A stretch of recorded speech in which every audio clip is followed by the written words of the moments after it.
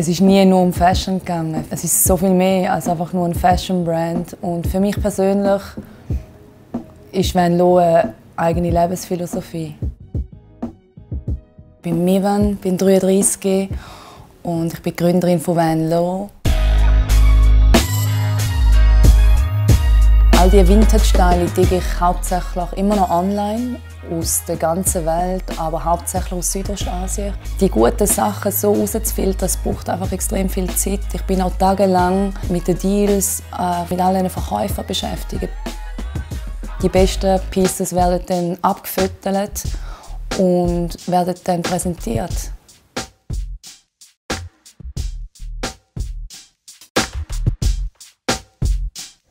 Crazy, oder?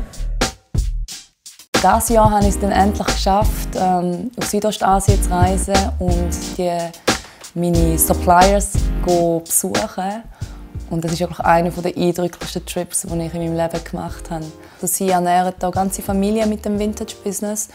Und dass dann wirklich vor Ort so Kleiderberge, einfach die ganzen Kleiderberge durchwühlen und das in der Hand haben das ist schon für mich auch ein, ein, ein sehr spezielles Gefühl. Gewesen.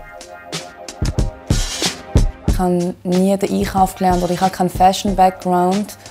Ich habe zuerst zehn Jahre auf dem Büro gearbeitet. Ich habe dann aber parallel relativ früh schon angefangen mit Freunden T-Shirts zu designen.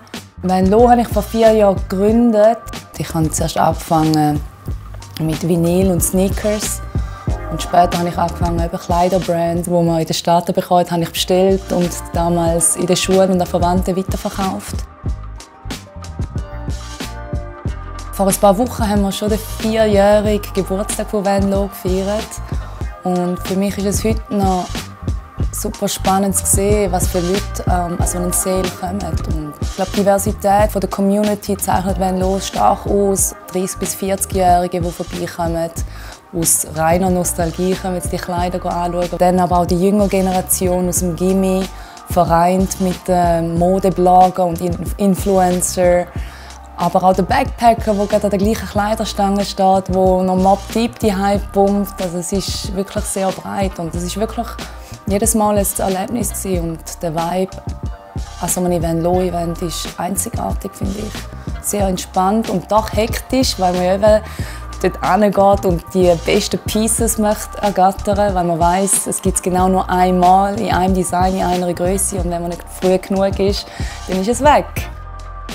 Ich bin mit der ganzen Hip-Hop-Kultur aufgewachsen und darum ist für mich das Highlight bei Van Lo immer noch die Möglichkeit, über Van Lo mit Künstlern zusammenzuarbeiten. Also Van Lo ermöglicht mir extrem interessante Persönlichkeiten kennenzulernen, die ich so einfach gar nicht kennenlernen würde. Und einerseits mit Familie, mit sehr engen Freunden zusammenarbeiten wie Jazz Crew, ähm, aber auch mit aufstrebenden, mittlerweile sehr erfolgreichen Künstlern wie Danitza oder Superwack, wo wir letztes Jahr so einen Artist Visual gemacht haben und La Base zum Beispiel, wo wir sie auf Paris begleitet haben.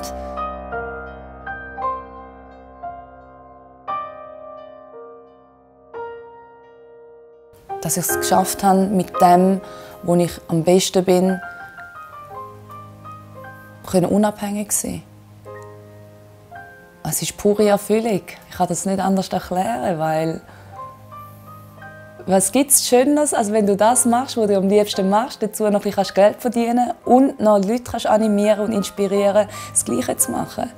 Also für mich gibt es nichts anderes, was mehr mich erfüllen als das Gefühl.